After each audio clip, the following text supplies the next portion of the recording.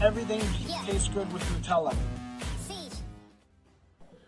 Hi, this is YYZ Frank of YYZ Review, and over here I have, tell me your name. Julian. Julian is my uh, nephew, um, just turned eight, and we're going to do the ultimate challenge with Jun- Julian.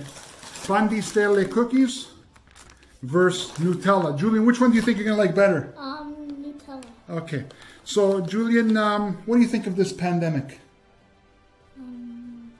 You miss all your friends? Yeah. It sucks, eh?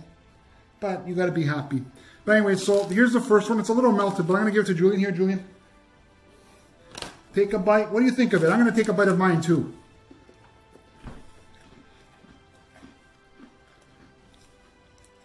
Tell the camera what you think once you finish chewing.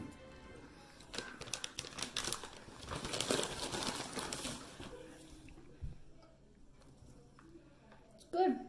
Yeah? Yeah. Okay, finish it up. Let's pause it. Okay, Julian. One being bad, ten being the best cookie you've ever had. What number do you give the, the uh, Pan di Stelle? Say a nine. A 9 out of 10? That's a good score. That means you liked it. Okay, now we're going to give the Nutella biscuits.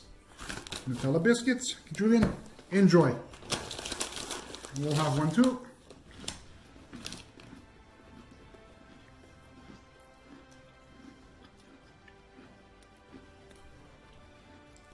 So, what do you think? Good. The first one better or this one's better?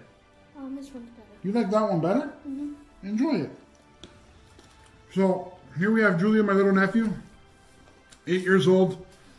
He thinks the Nutella biscuit is better. Now, if you remember, I said if you like chocolate, the pan is better. If you like more of a cookie with a little chocolate, the Nutella is better. Let's say it. Why, why is that, Frank? Like, comment, share, subscribe. Thanks for watching. Julian, give him a thumbs up. Have a good day. For A continuation of the video, Julian, you gave the pan di stelle a 9. What do you give the Nutella biscuit? Um, ten. It's the best biscuit you've ever had? yeah. You liked it a lot. Mhm. Give me a kiss. Thank you. Thanks for watching. Like, comment, subscribe, share.